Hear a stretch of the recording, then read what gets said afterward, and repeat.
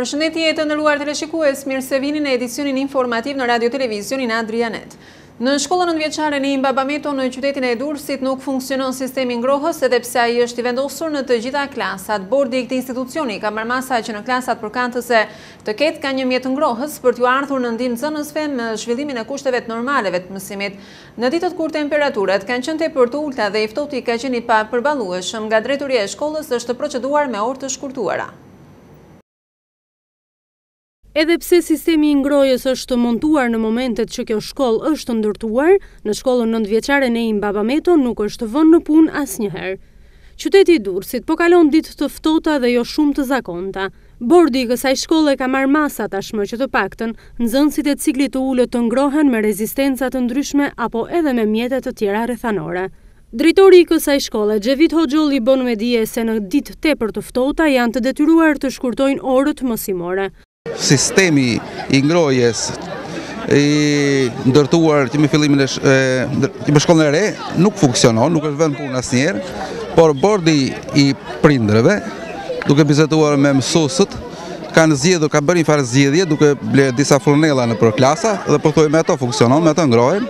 Energjinë e paguan bashkia.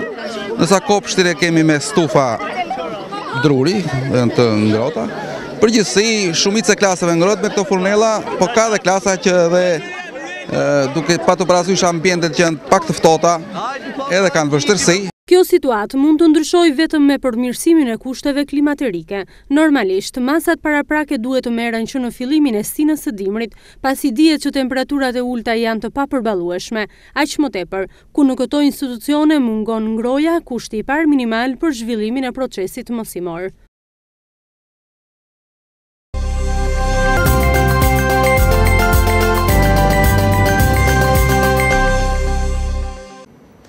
Pensionistët e zonës së Spitallës nuk kanë ku të qëndrojnë për të pushuar sadopak në lagjen e tyre, kjo për faktin se atje mungojnë hapësirat çlodhëse. Të mbledhur në një strehë aspak normale për kushtet ku ndodhet, ata bëjnë apel që kjo zonë të ketë një vend çlodhës për ta, ku të mendohet vendosja e disa stolave dhe asgjë më tepër se kaq. Të moshuarit janë shumë të ndjeshëm ndaj problemeve që i rrethojnë. I shikojmë shpesh herë të mbledhur në grupe, duke biseduar me njëri tjetrin qoftë në parqe të ndryshme, qoftë poshtë pallateve. Por, të moshuarit në zonën e Spitallës i gjejmë në kushte aspak normale.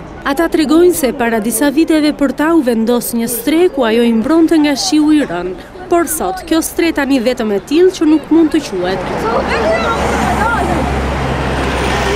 Pamjet tregojnë se si ata qëndrojnë të ulur në tokë në mungesë të stolave, duke luajtur me lojën e tyre të preferuar domino. Pak metra më lartë, sheh të moshuar të tjerë që mes mërzisë së pleqërisë nuk kanë një stol ku të rrëfejnë mes shokësh apo miq problemet e tyre. Duhet rregulluar ajo ndërtesa aty. Ndërmjet bashkisë, a komuna, kush është, ta rregullojnë, që të rrimë edhe ne 5 ditë rahat. Ju pse nuk vazhdoni të luani aty, po jeni ulur? Po s'ka vend aty, është hekur, mërdhe, çiment është. E, s'rrimë dot, nuk ulemi dot. E, rrimë këtu nga e keqja, ç'të bëjmë? S'kemi ku shkojmë. Po ku të ulemi, ku të rrimë, bëja i peti se se ishin. S'kemi ku vemi, dhe detyrimisht të rrimë qosheve, anëve, brinjëve dhe kështu. S'kemi ku vemi. Vetmia e moshës së tretë, braktisur nga fëmijët që janë në emigracion është drama e kohës sonë. Kjo u shkakton atyre mërzi, stres e depresion. Sikur mos të mjaftonin këto, këta të moshuar duhet të kalojnë një pjesë të kohës së tyre në kushte aspak normale. Një nismë sensibilizuese dhe humane është ndërmarrë në ndihmë të nxënësve të shkollës Met Hasa në zonën e Porto Romanos në qytetin e Durrësit, me iniciativë të një mësuesi pas një thirrje të bërë publike në rrjetet sociale për ofrimin e disa ndihmave në veshje për fëmijët që mësojnë aty, të cilët në këto ditë të ftohta shkonin të paveshur në shkollë, janë përgjigjur me ndihma një shoqatë humanitare, qytetarë të thjeshtë dhe artistë të shquar të Durrësit. Varfëria ekstreme ka mbërritur deri në atë pikë, sa fëmijët e shkollave nëntëvjeçare shkojnë në shkollë pa xhupa. Në gjithë këtë të ftohtë, ku temperaturat në qytetin e Durrësit kanë shënuar deri në minus pesë gradë Celsius, disa fëmijë të shkollës nëntëvjeçare Met Hasa në Porto Romano nuk kanë rroba të trasha për të përballuar të ftohtin. Kjo situatë nuk është anashkaluar nga mësuesit e kësaj shkolle, ku ka qenë vetë mësuesi i muzikës Dashamir Mehmeti, që nëpërmjet rrjetit social Facebook ka bërë një thirrje për ndihmë për këta fëmijë të vegjël. Më duket shumë e padrejtë që fëmijët vijnë në shkollë pa xhupa, me gjithë këtë ftohtë që ka bërë këtë vit, me gjithë këtë acar dhe shumica e fëmijëve, Mos them, mos them gjithë pra, po shumica prej tyrve vijnë vetëm me bluza. I shkruaj gazetarit Olti Currit në inbox duke duke qenë jo jo shumë besues pra te kjo nismë. Mendova thashë po e provoj një herë, por jam shumë dhe dua t'i falenderoj, dua t'i falenderoj gjithë ata gjithë ata zonja dhe zotërinj. Ashtu sikurse tregojnë edhe pamjet menjëherë pranë kësaj shkolle mbërrijnë veshmbathjet e para. Shoqata Jetimët e Ballkanit i është bashkuar kësaj nisme duke sjellë për këta vogëlush xhupa edhe triko të trasha për këtë stinë të ftohtë. Atëherë ne jemi një grup të rinjsh që me të ardhurat tona nëpër bizneset tona kontribuojmë me njëri tjetrin, mbledhim lekë dhe ua dërgojmë familjeve në nevojë. Me një fjalë nuk është se kemi mbështetje nga shteti ose nga shoqata të ndryshme. Jemi një grup të rinjsh që përpiqemi. Kësaj nisme sensibilizuese iu bashkangjit edhe këngëtari i njohur me emrin Çartani, ku solli për fëmijët veshje të ndryshme. Apeli i bërë nga vetë këngëtari shkon për të gjithë artistët, të ndihmojnë gjithsecili në drejtim të këtyre fëmijëve.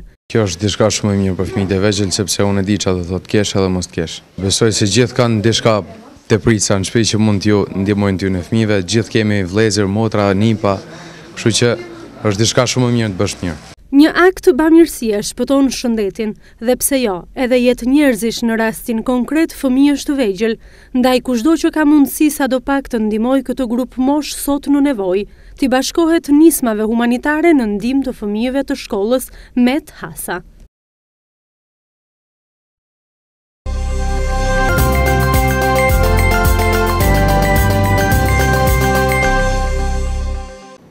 Në rrugët e qytetit të Durrësit ka nisur rikonstruksioni i pjesshëm i segmenteve rrugore për shkak të dëmtimit të asfaltit në shumë pjesë të tij, në këtë mënyrë do të mundësohet qarkullimi pa vështirësi kryesisht i automjeteve.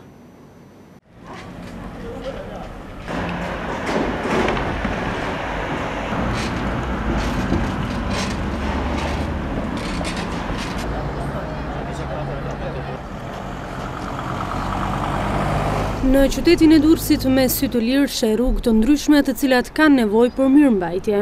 Momentalisht është duke u punuar në rrugë problematike nga zyra e urbanistikës, Pamjet tregojnë ndërhyrjet që po iu bëhet këtyre rrugëve ku në pjesë të vogla ato kanë nevojë emergjente. Këto rregullime do të ndihmojnë shoferët e automjeteve të cilët vazhdimisht janë ankuar se automjetet e tyre po dalin jashtë funksionit nga gropat e mëdha të krijuara ndër vite. Normalisht që këto ndryshime që po bëhen do të sjellin përfitime edhe për qytetarët këmbësorë. Pas përfundimit, këta të fundit do të lëvizin pa pengesa. Rrugët më kryesore ku po bëhen ndërhyrje janë ato pranë stadiumit Niko Dovana dhe mbrapa gjimnazit Leonik Tomeo. Akset rrugore kombëtare dhe rurale janë të hapura, por qarkullimi në disa segmente rurale bëhet me zinxhir, është ky njoftimi i Ministrisë së Brendshme në lidhje me situatën e krijuar nga temperaturat e ulëta dhe reshjet e dëborës Në shumë zona të vendit, shtresa e dëborës në zonat malore shkon deri në njëzet centimetra, në vende të veçanta deri në tridhjetë centimetra.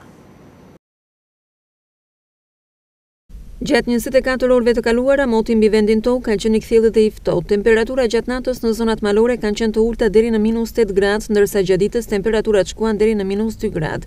Shtresa e dëborës në zonat malore shkon deri në njëzet centimetra dhe në vende të veçanta shkon deri në tridhjetë centimetra. Në qarkun e Kukësit akset rrugore kombëtare dhe rurale janë të hapura, por qarkullimi në disa segmente rurale bëhet me zinxhir.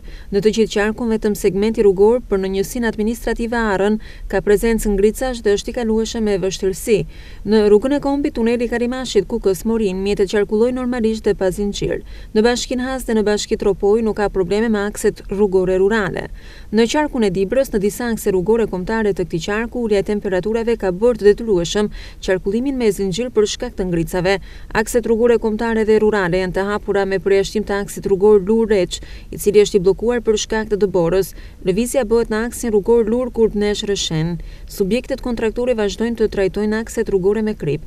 Mjetet borëpastruese qarkullojnë përgjatë akseve për pastrimin nga dëbora dhe largimin e inerteve. Në qarkun e Korçës, në pjesën malore, ka prezencë të dëborës së ngrirë që shkon në njëzet deri në tridhjetë centimetra. Subjektet kontraktuese kanë vënë në dispozicion mjete për hedhjen e kripës në qafat malore të akseve rrugore kombëtare, si Qafa e Thanës, Qafa e Plloçës dhe Qafa e Qarrit, të cilat janë problematike në këtë sezon me temperatura të ulëta. Në akset rrugore Boboshticë-Dardhë dhe rruga kombëtare Voskopojë, gjatë natës ka prezencë ngricash dhe në disa vende ka vështirësi për kalimin e mjeteve. Në të gjithë qarkun e Shkodrës akset rrugore kombëtare dhe rurale janë të hapura dhe qarkullohen pa zinxhir por bëjnë përjashtim disa akse rrugore për në pika turistike, si Vermosh, njësi administrative Kelmend, në Theth, njësi administrative Shalë, aksi rrugor Kryezi-Iballë dhe rrugët e fshatrave të njësisë administrative Shllak, ku qarkullimi i automjeteve bëhet me zinxhir për shkak të ngricave të krijuara nga temperaturat e ulëta. Nga qarqet e tjera të vendit nuk raportohen probleme për shkak të kushteve të motit. Pas të ftohtit siberian që përjetuam gjatë kësaj jave me temperatura nën zero, radhën e kanë ditët me diell. Sinoptikanët thonë se temperaturat do të rriten ndjeshëm dhe janari do të mbyllet me mot më të ngrohtë se normalja. Dimri i këtij viti ka sjellë deri tani temperatura ekstreme, nga më të ngrohtat deri tek ato më të ftohtat që janë shoqëruar me ngrica e reshje të shumta dëbore, kryesisht në zonat malore. Dita e hënë fillon me ngritje temperaturash, si në vlerën minimale ashtu dhe në atë maksimale. Ndërkohë ditën e premte temperatura maksimale do të arrijë deri në njëzet gradë Celsius. Të tjera informacione të ditës, kompania amerikane Rapiscan, të cilës iu dha koncensioni i skanimit rreth tri vite më parë largohet përfundimisht nga Shqipëria. Procesi i skanimit në dogana do të vazhdojë me partnerët e saj shqiptarë, sipas marrëveshjes së ministrit të Financave Shkëlqim Cani nga së dy Albania. Kompania amerikane Rapiscan, të cilës iu dha koncensioni i skanimit rreth tri vite më parë, largohet përfundimisht nga Shqipëria. Ndërsa sipas historikut të regjistruar në QKR, Rapiscan i kishte shitur aksionet dhe kishte nisur procedurën e likuidimit qysh në vitin dy mijë e katërmbëdhjetë. Procesi i skanimit në dogana do të vazhdojë me partnerët e saj shqiptarë sipas marrëveshjes Cani, së dy Albania që ndryshoi kontratën Bode Rapiscan. Marrëveshja e koncensionit u nënshkrua më dhjetë prill të vitit dy mijë e trembëdhjetë ndërmjet Ministrisë së Financave, dhe shoqërisë së dy Albania SHPK dhe Rapiscan Sistem Inc. Kompania amerikane u regjistrua në QKR më njëzet e katër qershor dy mijë e trembëdhjetë me emrin Rapiscan Sistem Albania. Në objektin e shoqërisë ishte kërkimi, projektimi, prodhimi, prokurimi, importi dhe eksporti, tregtimi dhe shitja nëpërmjet shpërndarjes ose ndryshe të veprojë si agjent ose distributor, të japë dhe të marrë me hua, qira, testim, instalim dhe marrjen e komisioneve, mirëmbajtje dhe shërbime e pajisje X-ray, detektorë metali, skanim i njerëzve, automjeteve, kontejnerëve dhe produkteve të tjera, si dhe softuereve dhe pjesëve të këmbimit për këtë qëllim. Rapiscan zhvillonte veprimtarinë e tij edhe në portin e Durrësit.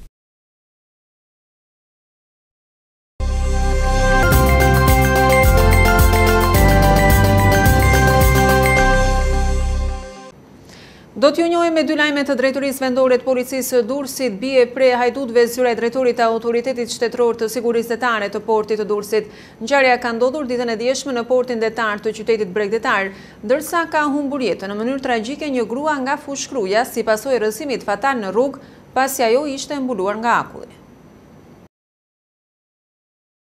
Bie pre hajdutëve zyra e drejtorisë së Autoritetit Shtetëror të Sigurisë Detare të Portit të Durrësit. Ngjarja ka ndodhur ditën e djeshme në Portin Detar Durrës, ku persona ende të paidentifikuar janë futur nga dritarja në katin e dytë në zyrën e Hysni Aruçit, pesëdhjetë e shtatë vjeç, e cila sipas policisë ka qenë e pasiguruar. Nga të dhënat policore mësohet se hajdutët kanë arritur të marrin një laptop të markës Acer dhe një USB, Nuk dihet ende se cilët persona qëndrojnë pas kësaj ngjarje, ndërkohë që specialistët për krimet po punojnë për identifikimin dhe kapjen e tyre. Ndërkohë, një tjetër njoftim të Policisë së Durrësit bëhet me dije se ka humbur jetën në mënyrë tragjike një grua nga Fushë-Kruja.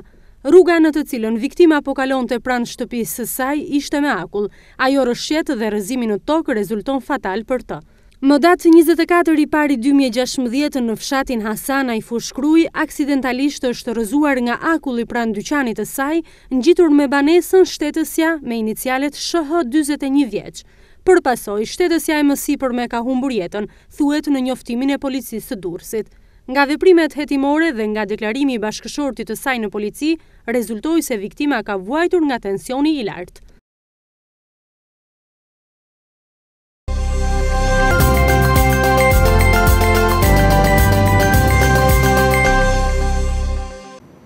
Simpatizantë dhe anëtarë të pakënaqur të Partisë Socialiste kanë protestuar paraditen e sotme përpara selisë rozë, një grup prej dhjetëra personash protestuan për kushtet e vështira ekonomike, sipas tyre qeveria socialiste nuk po mban premtimet. Ata kërkuan mbajtjen e zgjedhjeve të brendshme në Partinë Socialiste, në krye të këtij grupimi protestuesish, Ka qenë Shkëlqim Meta ish-kandidat për kryetar i Partisë Socialiste. Ai ka deklaruar se ky vendim është vetëm fillimi i këtyre protestave, të cilat siç ka paralajmëruar Meta, do të shtrihen dhe në qytete të tjera.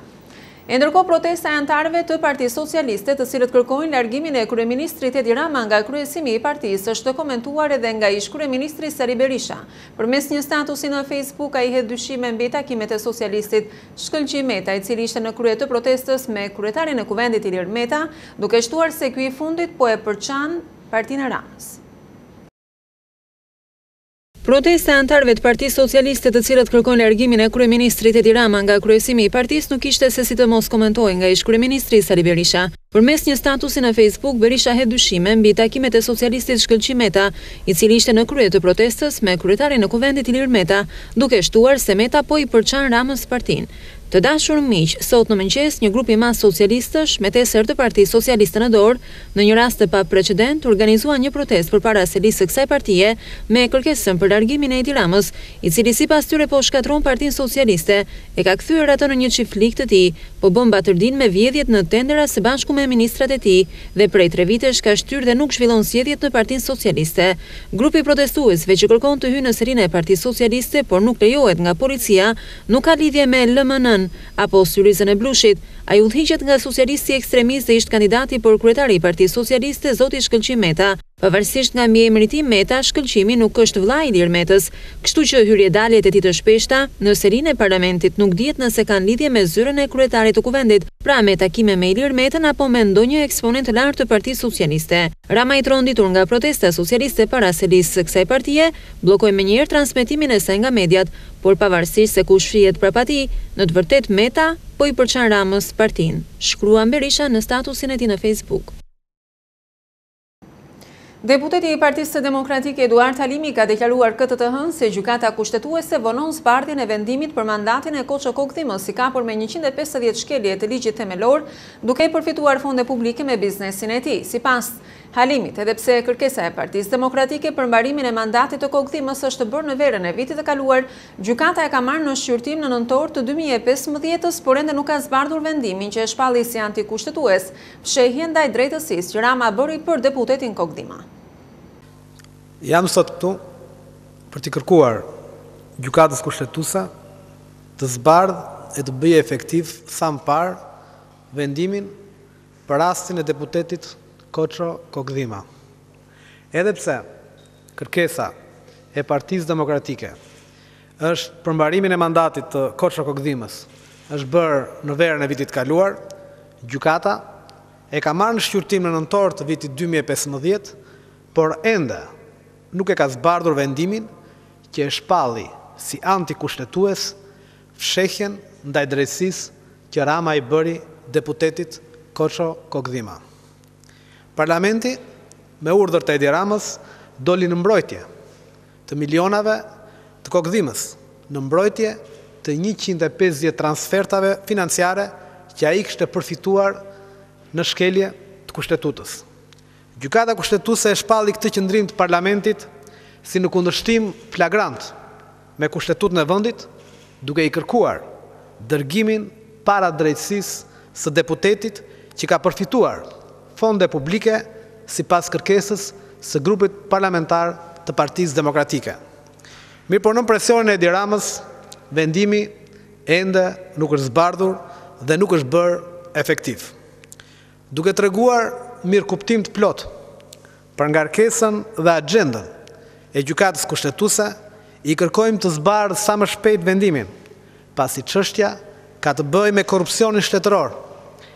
kapjen e shtetit si një fenomen në rritje, ndaj është e një rëndësie jetike për publikun. Partia Demokratike përmes një letre dërguar kryetarit të Kuvendit Ilir Meta ka kërkuar miratimin e menjëhershëm në seancën plenare të datës njëzet e tetë janar të vendimit për përbërjen e Komisionit Posaçëm për Reformën Zgjedhore që do t'i hapte rrugë vijimit pa vonesa të punës për realizimin e saj. Partia Demokratike përmes një letre dërguar kryetarit të Kuvendit Ilir Meta ka kërkuar miratimin e menjëhershëm në seancën plenare të datës njëzet e tetë janar të vendimit për përbërjen e Komisionit të Posaçëm për Reformën Zgjedhore që do t'i hapte rrugën vijimit pa vonesa të punës për realizimin e saj në vijim të propozimit tonë zyrtar për caktimin e anëtarëve të Partisë Demokratike në Komisionin e Posaçëm Parlamentar për Reformën Zgjedhore. Kërkoj miratimin e menjëhershëm në këtë seancë të vendimit për përbërjen e këtij komisioni.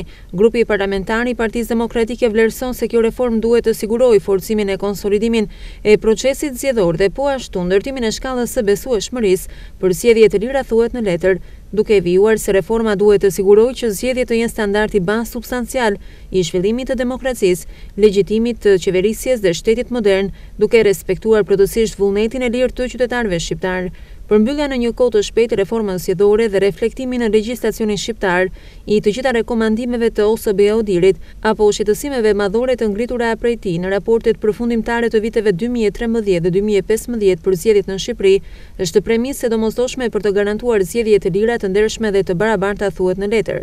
Dëshirojmë të kujtojmë këtu se rekomandimet e dhëna nga OSBE-ODIHR në raportin për zgjedhjet e vitit dy mijë e trembëdhjetë, për shkak të mungesës së vullnetit politik të mazhorancës aktuale, nuk u adresuan kurrë në legjislacionin shqiptar, duke sjellë në këtë mënyrë deformimin e zgjedhjeve të vitit dy mijë e pesëmbëdhjetë, vijon letra.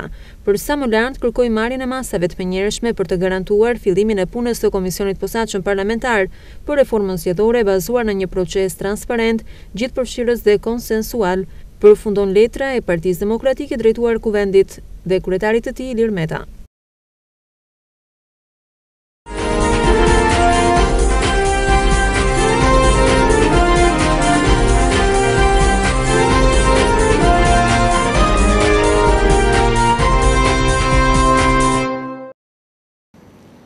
Gërryerja dhe zgjerimi i lumit Shkumbin ka bërë që uji të afrohet shumë pranë banesave të 10 familjeve që jetojnë në lagjen Shelk të Cërrikut, ata ndihen të kërcenuar në çdo kohë me reshje.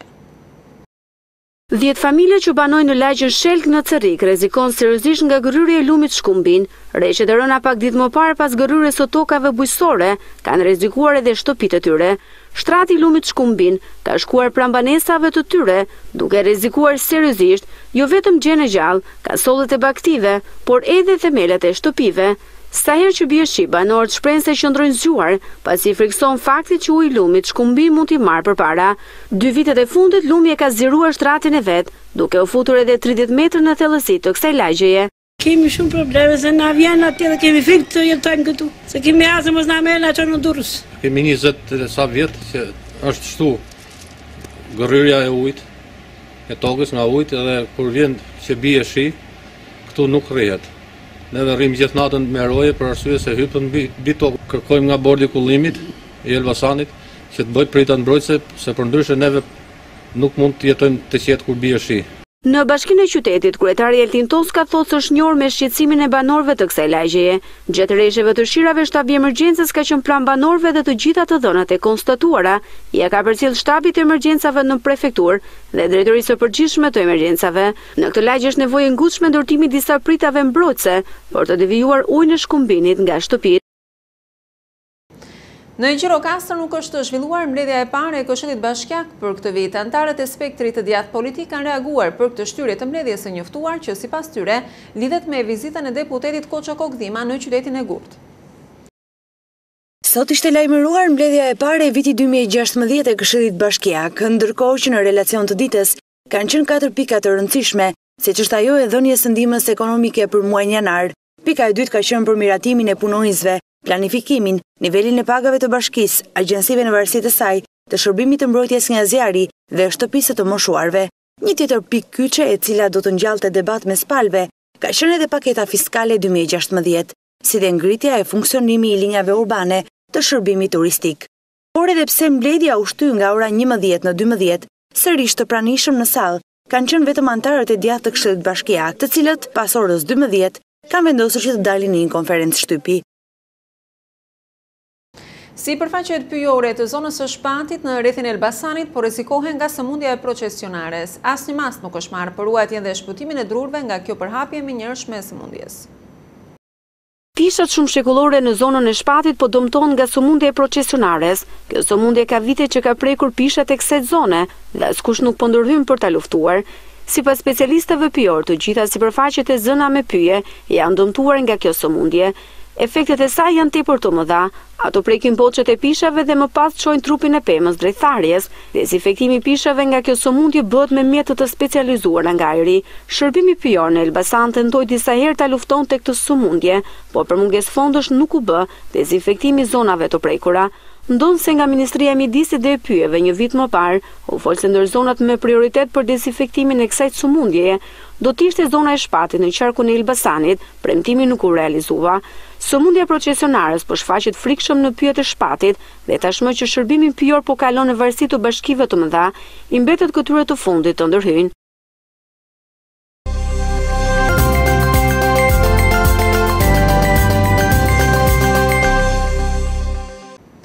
Kryeministri i Kosovës Isa Mustafa beson se deputetët e partisë së tij do të jenë të unifikuar për zgjedhjen e Presidentit të vendit duke bërë me dije se LDK do ta respektojë marrëveshjen për sa i përket zgjedhjes së Hashim Thaçit president. Duke folur për raundin e ri të dialogut në Bruksel më njëzet e shtatë janar, Mustafa ka thënë se pjesëmarrja e Kosovës në këtë takim ende nuk ka një përgjigje përfundimtare. Kryeministri i Kosovës Isa Mustafa beson se deputetët e partisë së tij do të jenë të unifikuar për zgjedhjen e presidentit të vendit, duke bërë me dije se LDK-ja do ta respektojë marrëveshjen për sa i përket zgjedhjes së Hashim Thaçit. Pa marrë parasysh disa deklarata individuale, besoj se deputetët tanë, si gjithëherë, do të jetë unikë në vendime që lidhen me kredibilitetin e zotimeve tona dhe me stabilitetin e vendit. Nevojitet që kjo të bëhet mbi një marrëveshje e cila në rastin konkret, Ekziston, ka thënë Mustafa, i cili ka nënvizuar se nuk e ka ndërmend të tërhiqet nga posti i kryeministrit, pavarësisht thirrjes së opozitës. Ai e ka porositur opozitën të përgatitet për zgjedhjet e vitit dy mijë e tetëmbëdhjetë, jo me molotov, gaz lotsjellës, gurë e veprime brutale, por duke ofruar argumente se ajo mund të qeverisë. Duke folur për raundin e ri të dialogut në Bruksel më njëzet e shtatë janar, Mustafa ka thënë se pjesëmarrja e Kosovës në këtë takim Ende nuk ka një përgjigje përfundimtare. Ai thotë se pret reflektim të Bashkimit Europian për liberalizimin e vizave, pas përmbushjes së rekomandimeve të fundit. Pjesëmarrja jonë ende nuk është përfundimtare, por po bisedojmë me partnerët tanë strategjikë lidhur me këtë. Ne kemi nevojë ta sqarojmë agjendën e dialogut, sidomos implementimin e marrëveshjeve nga Serbia, por edhe të çohen përpara proceset e tjera integruese, siç është liberalizimi i vizave. Unë pres reflektim të BE-së për liberalizimin e vizave. Pas përmbushjes së rekomandimeve të fundit, ka nënvizuar kryeministri i Kosovës.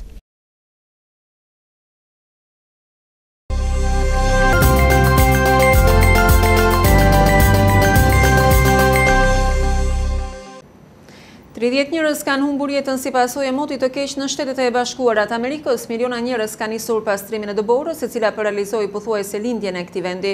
Ndërkohë transporti publik vijon të mbetet i ndërprerë dhe në Uashington zyrat e administratës qeveritare janë të mbyllura në këtë fillim jave.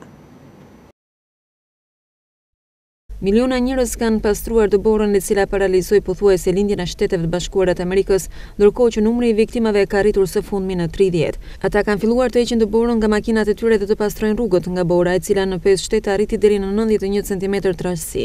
Transporti publik vijon të mbetet i ndërprerë, si dhe shumë fluturime janë anulluar. Jeta për rreth pesëdhjetë milionë banorë të këtyre zonave është vështirësuar së tepërmi, ndaj edhe do duhen ditë që situata t'i kthehet normalitetit. Në Uashington, zyrat e administratës qeveritare janë të mbyllura në këtë fillim jave. Në punë janë vetëm punonjësit e emergjencave, ndërsa Kongresi ka shtyrë disa nga votimet e planifikuara për të hënën. Metroja e qytetit punon me kapacitete të kufizuara, shkollat gjithashtu janë të mbyllura, po punohet për zhbllokimin e pistave në tre aeroportet më të mëdha të vendit, ku janë rikthyer fluturimet e para. Të dielën u anulluan dymbëdhjetë mijë të tilla të planifikuara. Guvernatorët e Nju Jorkut dhe shteteve të tjera federale lindore u kanë bërë thirrje shoferëve të shmangin udhëtimet për t'u mundësuar pastruesve të dëborës të rihapin autostradat, rrugët qytetase dhe për t'u dhënë përparësi mjeteve të emergjencës. Zyra federale do të mbetet e mbyllur edhe ditën e sotme. Ndërsa, mendohet se stuhia ka prekur më shumë se tetëdhjetë e pesë milionë persona e ndërkaq treqind mijë vetë u prekën nga ndërprerja e energjisë elektrike. Spanja është goditur nga një tërmet me magnitudë gjashtë pikë tre gradë të shkallës Richter. Sipas informacioneve të para, nuk ka viktima apo dëme të mëdha në të gjithë bregdetin jugor të vendit, teksa epiqendra e tërmetit ishte rreth njëqind e gjashtëdhjetë e dy kilometër në juglindje të Malagas. Spanja është goditur nga një tërmet me magnitudë gjashtë pikë tre gradë të shkallës Richter, sipas informacioneve të para nuk ka viktima apo dëme të mëdha në të gjithë bregdetin jugor të vendit, teksa epiqendra e tërmetit ishte rreth njëqind e gjashtëdhjetë e dy kilometër në juglindje të Malagas. Sipas Institutit Gjeografik Kombëtar të Spanjës, tërmeti u pasua me gjashtë tronditje të tjera me fuqi më të vogël. Më herët, Shërbimi Gjeologjik Amerikan kishte raportuar se tërmeti ishte me magnitudë Gjashtë pikë gjashtë gradë i regjistruar tridhjetë e tre kilometrë më thellë. Shërbimet e emergjencës në jug të Spanjës deklaruan se kishin marrë rreth dyqind e pesëdhjetë telefonata nga banorë të alarmuar. Tronditjet janë ndjerë në të gjithë rajonin duke përfshirë edhe qytete si Malaga, Kordoba, Sevilja dhe Granada. Tërmeti ka prekur edhe Melilan, enklavë spanjolle në bregun maroken, ku shërbimet e emergjencës thanë se kishin marrë dyqind telefonata. Raportohet se në këtë zonë ka dëmtime të banesave dhe shkollat janë mbyllur sot. Franca është e vendosur për të goditur akoma më tej organizatën e shtetit islamik e cila po kërcënon dhe vret fëmijët tanë, ka deklaruar kështu presidenti François Hollande gjatë një konference për shtyp në New Delhi të Indisë, ndërsa ministrat e brendshëm të zonës Schengen kanë nisur sot një takim informal në Amsterdam në lidhje me çështjen Schengen. I ndjekim në një bllok. Franca është e vendosur për të goditur akoma më tej organizatën e Shtetit Islamik e cila po kërcënon dhe vret fëmijët tanë, deklaroi François Hollande pas publikimit të një videoje të re kërcënuese të ISIS. Nuk do të lejojmë aspak të verbohemi nga terrori dhe paniku, u shpreh ai gjatë një deklarate për shtyp në New Delhi, duke e pohuar me vendosmëri goditjen edhe më tej të kësaj organizate që po kërcënon dhe vret fëmijët tanë, tha ai. Të shpëtojmë Shengenin dhe hapësirën e lëvizjes së lirë, do të jetë ky qëllimi i diskutimit të ministrave të brendshëm të zonës Shengen, që ka nisur sot një takim informal në Amsterdam. Ende e panisur takimi ministri i Brendshëm italian Angelino Alfano sqaroi pozicionin e vendit të tij duke thënë, Ne jemi kundër hapave prapa për sa i përket Shengenit. Në rendin e ditës të këtij takimi do të jetë kriza e refugjatëve dhe problemet që e pasojnë sistemin Shengen për ta mirëmbajtur atë si dhe vështirësitë e vazhdueshme të Bashkimit Europian për të menaxhuar këtë emergjencë me një politikë të vërtetë të përbashkët. Të nderuar teleshikues, ka qenë gjithçka e përgatitur për këtë edicion informativ në Radio Televizionin Adrianet. Faleminderit të gjithëve për kohën dhe vëmendjen e kushtuar shikim të këndshëm programacionit në vijim. Një fillim javë sa më të mbarë, bashkë mirupafshim.